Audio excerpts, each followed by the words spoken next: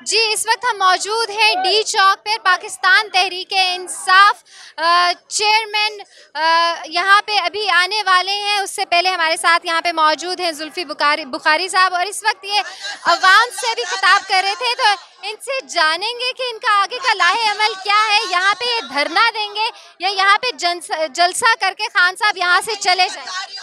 हम जलसा करने नहीं आए। लाए अमल एक ही है जो खान साहब कह रहे हैं। कि हम यहाँ आए हैं एक डेट लेने के लिए कि जब ये इम्पोर्टेड गवर्नमेंट अनाउंस करेगी कि अगले इलेक्शंस कब हैं। जब तक वो नहीं होगा हम यहाँ से नहीं जाएँगे। लेकिन सुप्रीम कोर्ट की तरफ़ से सुप्रीम कोर्ट को आप लोगों ने रिटर्न में लिख के दिया था कि आप यहाँ पे धरना नहीं देंगे बल्कि जलसा करेंगे।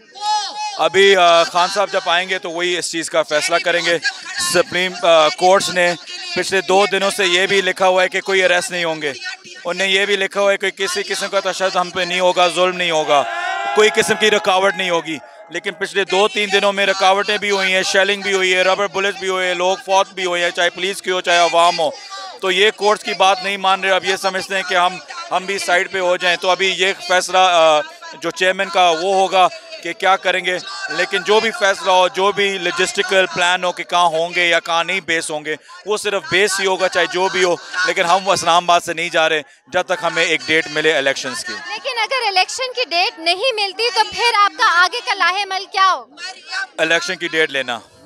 अच्छा मतलब कि आप बस जिद है? जिद नहीं है। बस हम अपना मिशन मुकम्मल करने आए हैं। हम पहले दिन से हमने कभी ये गवर्नमेंट नहीं मानी।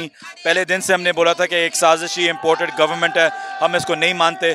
जब तक हम पाकिस्तान को आज़ाद नहीं करेंगे, इसकी ग़ुलामी से हम नहीं जाएँगे तो इसमें कोई प्लान भी नहीं है। हमें इलेक्शन डेट तक तो नहीं मिली, और कोई प्लान नहीं अच्छा लेकिन अभी मरियम नवाज़ ने अपनी प्रेस कॉन्फ्रेंस में कहा है कि ये तारीखी नाकामी है पीटीआई के लिए। देखें मरियम बीबी जो हैं, वो उन्हें माशाल्लाह ज़िंदगी में इतना कुछ अचीव किया हुआ है। वो पहले सीईओ थी ग्लोबल कंपनीज़ की और फिर उन्हें पता नहीं कौन कौन सी मल्टी रन की हैं।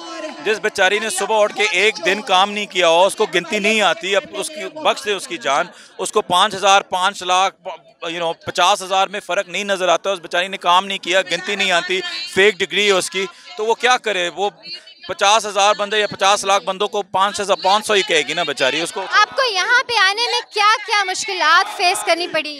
जी हमें हर जगह रुकावटें पड़ी कंटेनर्स हैं टेयर गैस हमें मिली है पहाड़ों में ये चढ़े हुए थे वहाँ से टेयर गैस हम पे वहाँ अटक से उनको रहा कराया हर जगह हर नौजवान हर पीटीआई का चीता खड़ा हुआ था देखें इन्हें हर किस्म की राना साला और गवर्नमेंट ने प्लानिंग की थी हमें रोकने की।